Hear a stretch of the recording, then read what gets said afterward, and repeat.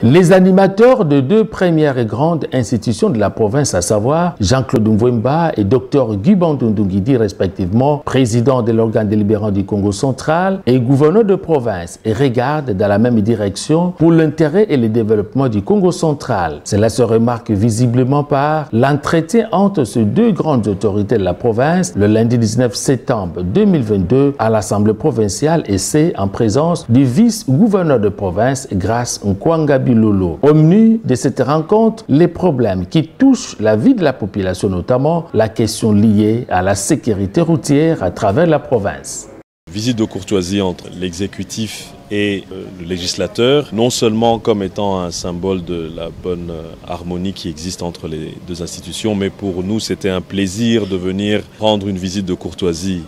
à l'honorable président euh, de notre Assemblée provinciale. Bien évidemment, on a évoqué quelques points importants qui intéressent la, la, province, notamment la sécurité routière et la sécurisation au niveau de la nationale numéro 1, parmi tant d'autres sujets. Il y a des institutions qui sont habilitées à pouvoir servir de courroie de transmission entre l'exécutif et l'Assemblée provinciale. Nous avons parlé de la mise en place de ce cadre d'échange